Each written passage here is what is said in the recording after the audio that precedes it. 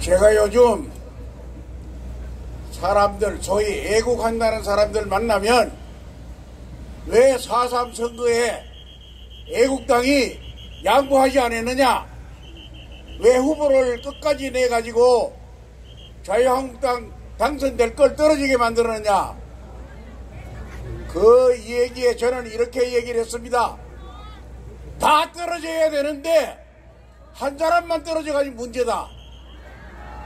그러니까 이 사람들이 뭐라 그러냐면 이 사람 아니 머리를 똑바로 쓰는 줄 알았는데 좀 돌아든 거 아니냐? 이렇게 얘기를 하더라고요. 그래서 제가 이렇게 얘기를 했습니다. 소치 구멍이 났는데 그걸 그냥 비닐로 발라가지고 밥을 하면 밥이 되겠느냐? 우리가 밥에 먹는 소철 구멍을 낸 놈들이 지금까지 있는데 그 소철 떼운다고 해서 되겠느냐?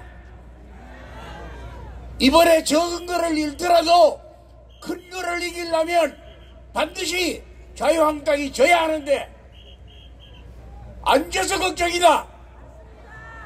지금이요 반쪽 이겼다고 난리를 지기고 있어 이 사람들 정신 못 차려요.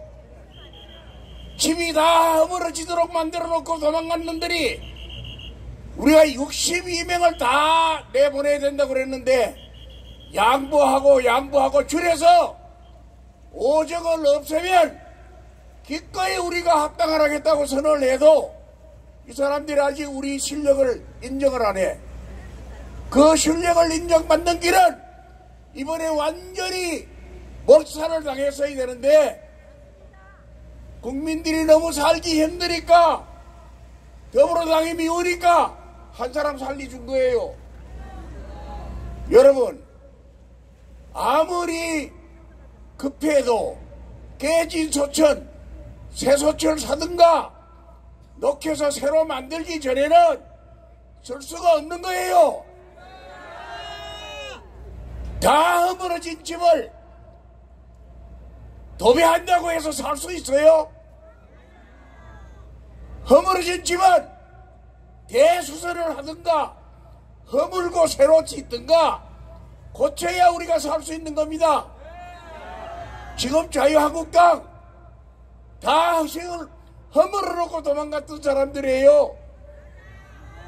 이 사람들 안 받아주고 합치지 않는다고 성급하게 이야기하는데 우리가 잘못한 것 같이 자꾸 얘기를 해요.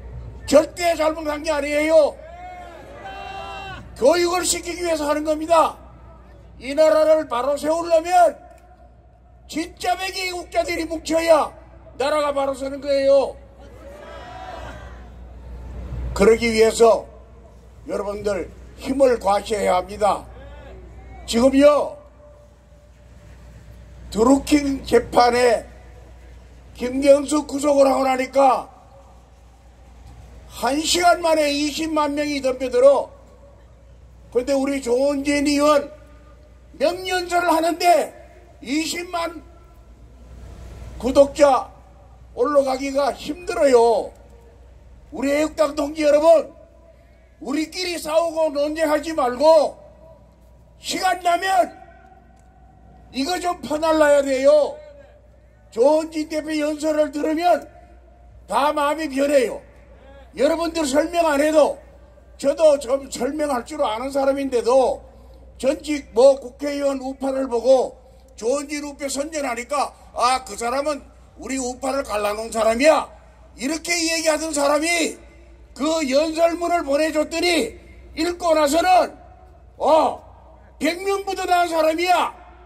이렇게 얘기를 하더라고요.